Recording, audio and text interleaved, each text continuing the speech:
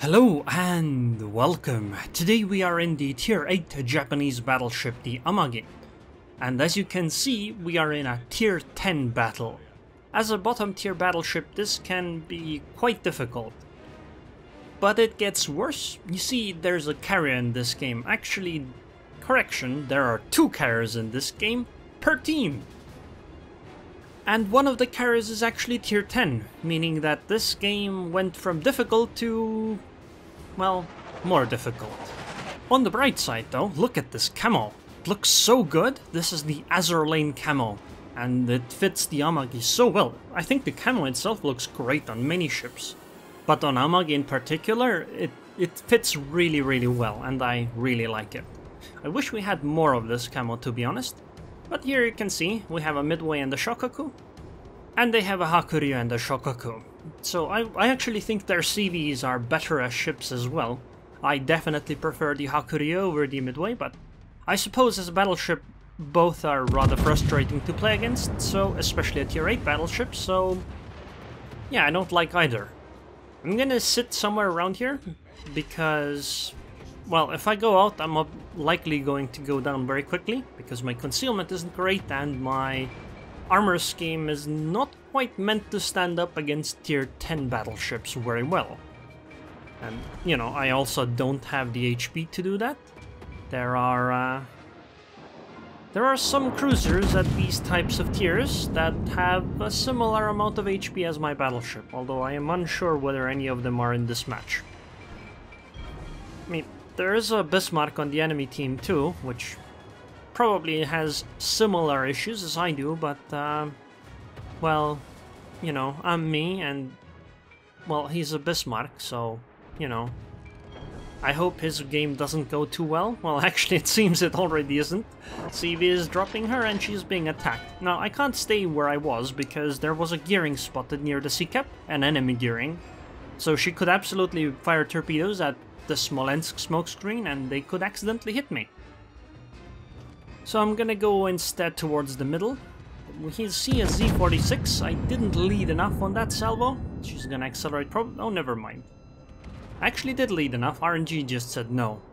That could have been a nice salvo if uh, the shells had been slightly better. Let's dodge these torpedoes. The only reason I'm gonna go into the middle cap is because a Grosser Kurfürst decided to do so.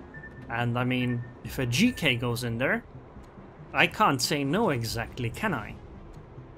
Besides, there are lots of interesting targets over here. I'd like to take a shot on the Yamato, but she is angled enough that I don't think I would have much success with it. My plan is to go for the big cap. Unfortunately, I think a Shokaku has already noticed me, so I don't know how well that plan will work out. Hopefully she goes for the Kurfürst. No, it does not appear that that's the case. But I mean, it's a CV, so the torpedoes probably aren't going to deal that much damage. Probably gonna take one of them.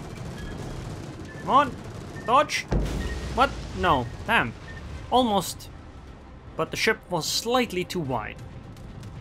Oh well. The CV is gonna come again, but hopefully this time it hits the torpedo belt and does even less damage than that. Because CV torpedoes aren't exactly scary. You should be much more aware of uh, any other ships that might shoot you while you're trying to dodge CV torpedoes. Those can actually end up dealing more damage and ouch. 40k damage to that Yamato. Well, thank you very much, that was delicious. Next up is to try to take a shot on the Ibuki, because she is closer than the Hinden... Actually, maybe Hindenburg is a good shot too, because she is not angling at least. But we'll try to finish off the Ibuki, because we should. Because that's the better move for the game. Worse for my own results, but better for the team. I'm gonna try to hide behind this island. I don't know if I can actually take this, because that's another CV squad of planes coming in. Oh no, they're actually going after the GK. Okay, good. In that case, maybe I can take it, but I suppose the important thing is that I just block the cap for as long as possible. Even better if I never actually go down. Although, considering how many planes there are, I don't think it's likely that I will be able to take this cap. And I think it's safer to just sail away because that's a Hakuryu coming towards me and I, there's nothing I can do about these torpedoes. Any kind of maneuvering here probably makes the situation worse. Like, I might be able to ram the island here and only take like one torpedo or none at all, but the thing I have to be most afraid of are the battleships that could fire on me when I dodge these. And I, well, I guess I did manage to dodge them by turning into the island, but now I'm gonna be run aground, and I might actually take more damage than the torpedo would have dealt. Maybe I can... Oh, no, it seems I was able to miss the island. That's nice. Usually you can get stuck just like this when you go too close to an island, but maybe I can manage to pull through. Yeah, excellent. That's very good because this means that I'm gonna be safe from the battleship and cruisers. Oh! Shokaku is visible, but I think the Z-46 that is very close range might actually be the priority. But I mean, I do have a fighter plane or scout plane to take a shot on the Shokaku. And if we could uh, sink her, that would definitely lighten our load. Although I think that aim was a bit too high. That might very well just go over the ship. Come on, shells, please, please, sink the Shokaku. I think the RNG isn't good enough. Yeah, that was slightly disappointing damage. Think um, Cruiser found me again. But that'll be okay. Hakuryu going after Zhao, it seems. But Zhao, with that AP dive bombers, but Zhao is turning, so the angle is gonna be pretty bad for the Hakuryu. The Zhao is gonna probably take like 8k damage maximum. Next up is a shot on Georgia because she is basically the only ship we can see that we could actually shoot at. But we are going to... The team, that is, is going to be able to take the big cap. Oh, Minotaur. Sadly, I've already fired my guns, and she's gonna be behind the island by the time that my guns are reloaded. Oh, and Shokaku was there again. And I got... actually managed to get the ribbon, but not many capture points. Wait, is she? She's barely moving. Hmm, I don't know how to fire. I think she's also turning in, so I'm gonna fire slightly lower. Torpedoes, I'm gonna take one of them for sure. Not only one, and it'll do like 6k damage make that 3,700. Yeah, I'm not gonna complain about that, considering the penetration from a battleship actually does more damage. Like, she can hit me with those torpedoes quite a few times and I won't mind too much. The main thing I'm afraid of are AP dive bombers, but I don't actually know how they work against Yamagi. Do they work well? Because they can absolutely work versus ships like, oh god, showing broadside to a Yamato. That's dangerous, so I'm gonna start turning in immediately. That way, in case there was a salvo on the way, it would probably hit my superstructure and overpen. But now there's an island between me and the Yamato, and luckily Yamato shells do not overpen islands yet. You know, maybe in the future when Yamato needs a buff. Oh, Shokaku's up again.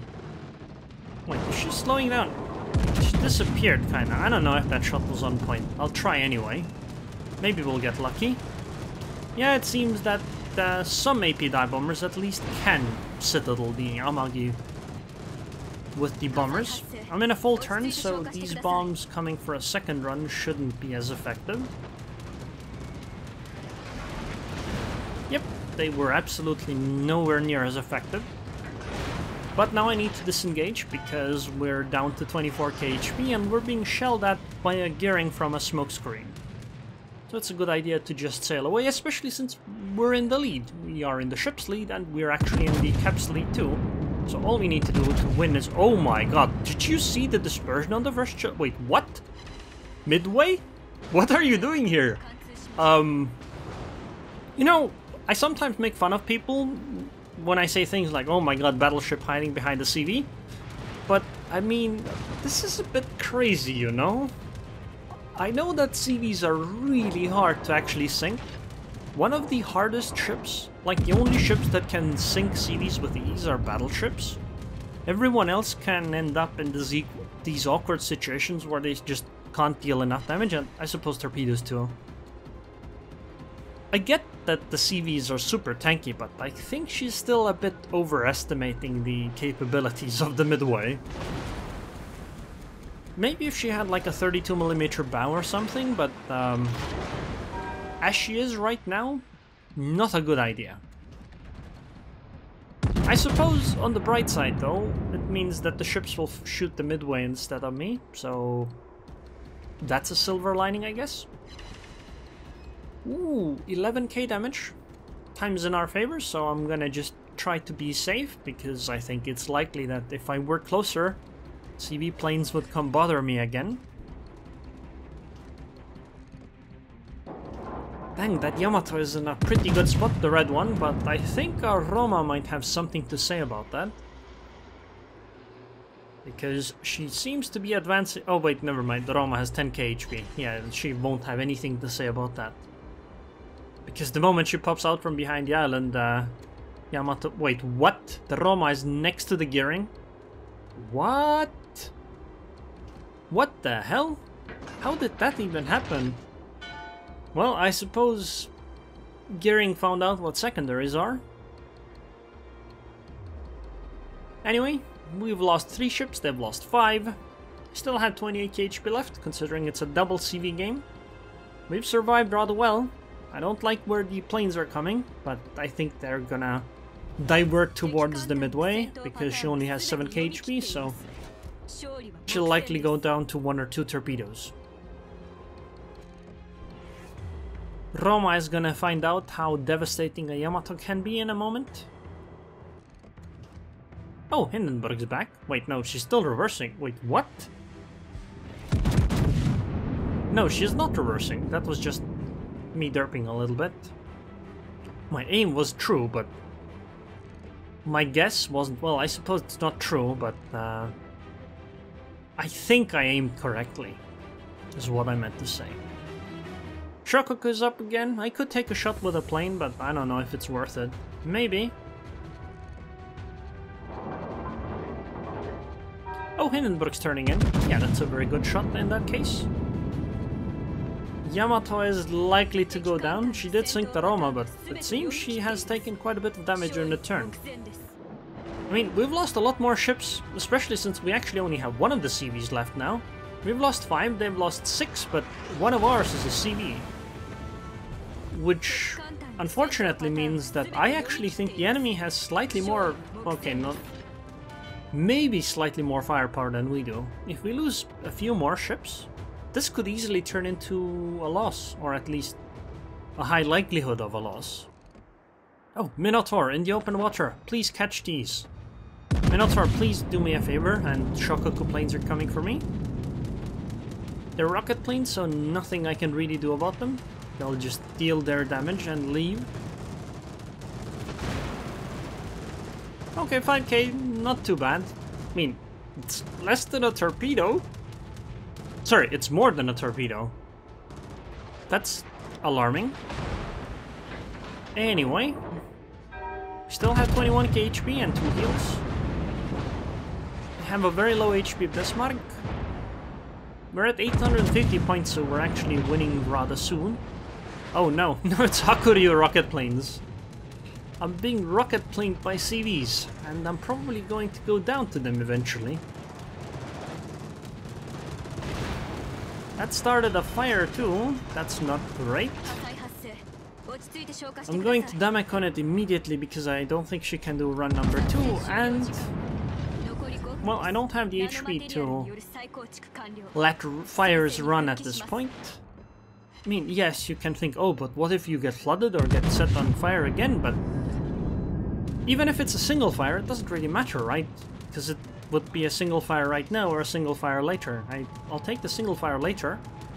And flooding is not actually that dangerous, and wow, Hindenburg just hit me for 9.6k with AP. Damn! That AP hits hard. But it's supposed to. I am flooding, 6k HP, but we're at 970 points.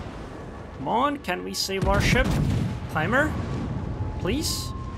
Also, uh, notice that the flooding actually has run out. CV planes are incoming, but 909, 988, 991, 994. Come on, 997 and 1000, and we survived. with a sliver of health. But we did, and this is a CV game, double CV game, as a low, lowest tier battleship. I mean, I really shouldn't complain about that, right? Even though when I was actually playing this, my thoughts were, well, I would rather take the loss than play this match, but it actually ended up being a rather decent game. I mean, 140k damage is nothing to sniff at in a tier 8 battleship. 2238 basically, almost number 1 actually. And I did shoot down, what, like 18 planes? That's pretty decent. 1.5 million potential only, but seriously, I took a lot of damage from these CVs. 22k, and I think I didn't take a normal torpedo at any point. That's what, 4.5k per torpedo? 10k from the 4 bomb hits and 5k from the rockets.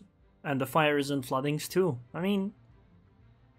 Yeah, I feel like CV damage in this game was not actually that big of a problem. It was mostly that because of the CV I couldn't risk going out there and fighting the other ships as I would have liked to, but maybe that actually did lead to a better game. Anyways, I hope you guys enjoyed this video. I would like to thank the patrons on Patreon. Thank you very much for your continued support, Noshiro, and I hope I'll see you guys next time.